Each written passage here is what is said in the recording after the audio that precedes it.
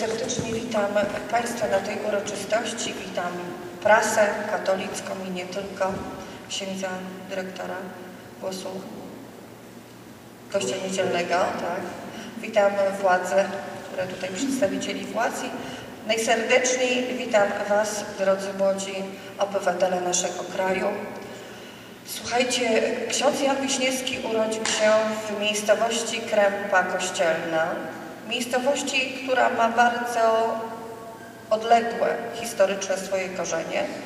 I ksiądz Wiśniewski miał świadomość o tym, że ta wioska, niewielka wioska pod Solcem nad Wisłą, nie mówię pod Lipskiem, bo to miasto powstało dużo później, ale pod Solcem nad Wisłą, wniosła w jego życie wiele ważnych elementów i ukształtowała jego wyobrażenie o patriotyzmie. Ksiądz Wiśniewski urodził się w roku 1876 w okresie niewoli. Zmarł w roku 1943 w okresie II wojny światowej.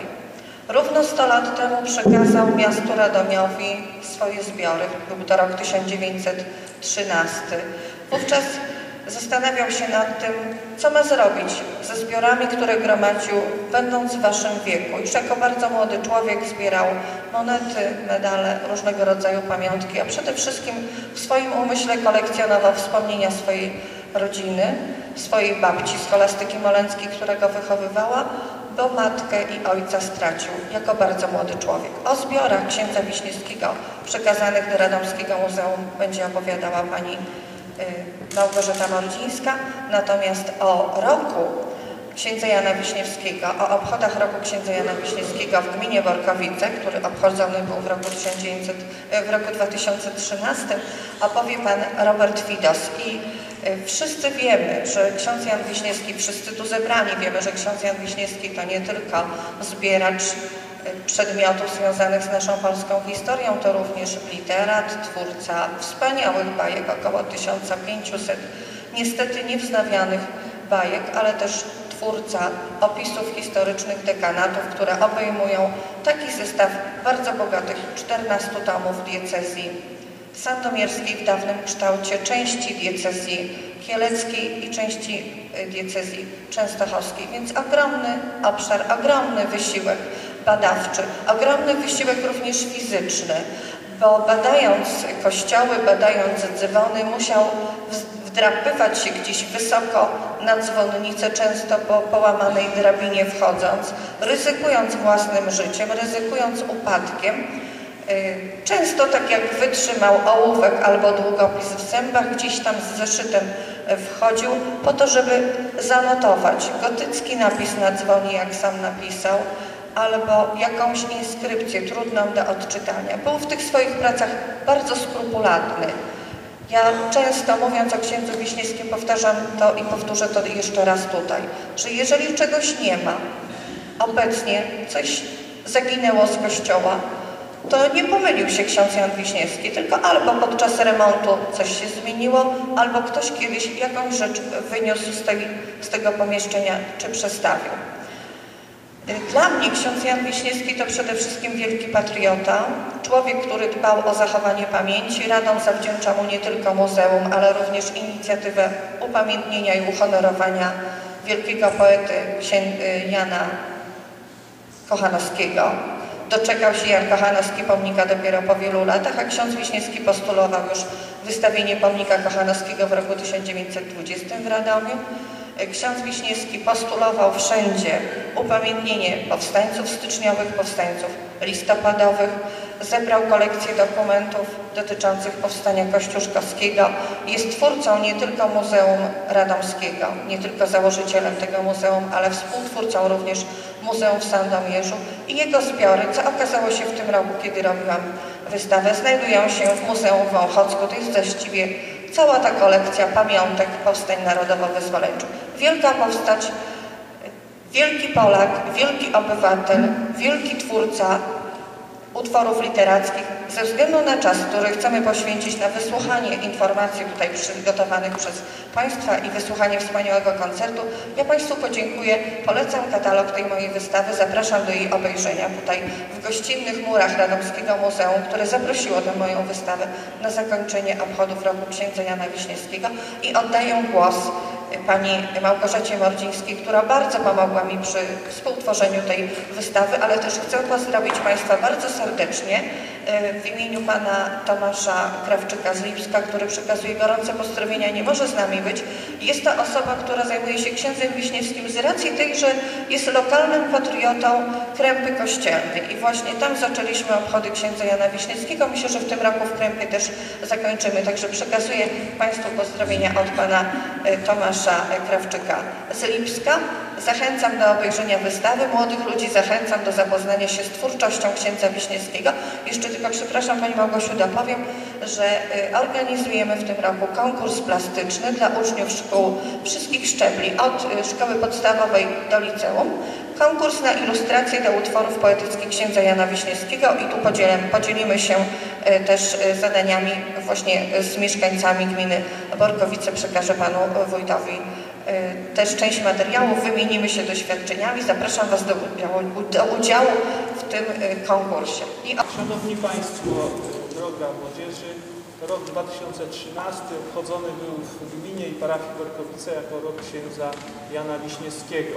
Z tej okazji zorganizowaliśmy m.in.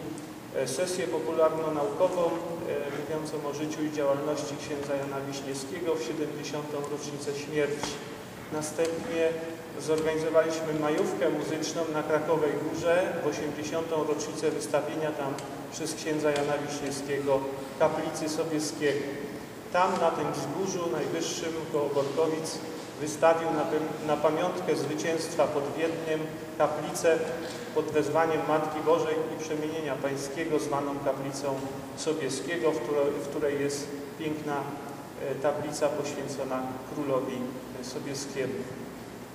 W setną rocznicę przybycia e, do parafii Borkowice zorganizowany został przez e, Szkołę Muzyczną w Ruszkowicach e, koncert w kościele parafialnym w. Udało nam się również na zbiórce publicznej zebrać pieniądze na odnowienie nagrobka księdza Jana Wiśniewskiego na cmentarzu parafialnym w. Ksiądz Jan Wiśniewski to najwybitniejsza postać naszej gminy, parafii Borkowice. Przez 30 lat swojego mm, pasterzowania w Borkowicach potrafił utworzyć m.in. 10 szkół powszechnych, utworzył bibliotekę gminną, wybudował kilka budynków parafialnych. W 1916 plebanię, w 1919 organistówkę z domem ludowym i w 1931 klasztor dla sióstr benedyktynek, które do dzisiaj tam istnieją, a które sprowadził z Ukrainy w 1939 roku. Ksiądz utworzył również muzeum e, na piętrze plebanii i tam przybywały wycieczki z całej diecezji sandomierskiej, tam prowadził lekcje muzealne. E, ksiądz e, utworzył również Katolickie Stowarzyszenia Młodzieży, Stowarzyszenie Pań Świętego Wincentego a Paulo, Straże Pożarne, chyba już mówiłem, przyrodnicze Straże Pożarne. Również e, upamiętniał e, ważne wydarzenia historyczne, wszędzie budując albo pomniki, albo wystawiając tablice pamiątkowe, których w samych Borkowicach znajdziemy kilka. Może na tym zakończę tak krótko, bo e, ksiądz Wiśniewski prowadził tak bogatą działalność, że mówię, na, na sesji, e, która trwała 2,5 godziny, e, byliśmy w stanie powiedzieć nie o wszystkim. Więc ksiądz Jan Wiśniewski to dla nas bardzo ważna postać. Dziękuję.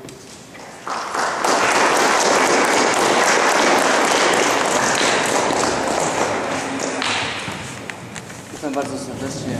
Nazwisko Waldemar Cichawa. Jestem dyrektorem Zespołu Szkół Ogólnokształcących w Borkowicach. Od trzech lat też prowadzimy y, szkołę muzyczną. Była to taki ewenement, szkoła powstała na terenach wiejskich.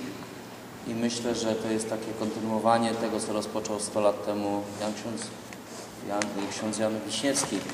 Y, Dzięki niemu w tym roku będziemy się parać ze stuleciem Szkoły Powszechnej w Borkowicach i będziemy obchodzić to, myślę, dość hucznie. A dzisiaj y, chcieliśmy Państwu przedstawić parę wykonań uczniów, nauczycieli z owej szkoły. Yy, Koncert króciutki, czterech wykonawców, ze względu na to, że końcówka semestru i nie wszystkim pasuje już dzieciakom, żeby dojechać w roku yy, w zwykły dzień do, z tym koncertem. Natomiast taki duży koncert, tak jak Pan Wójt wspomniał, odbył się w czerwcu i, i, i wtedy myślę, to było w większej formie. Zaczniemy już koncert. Pierwszym wykonawcą będzie Ola Strzałkowska. Ola Strzałkowska uczy się na klarnecie. Wykona fantazję Nielsa Gade, a akompaniować będzie pani Magdalena Korczyca. Zapraszamy.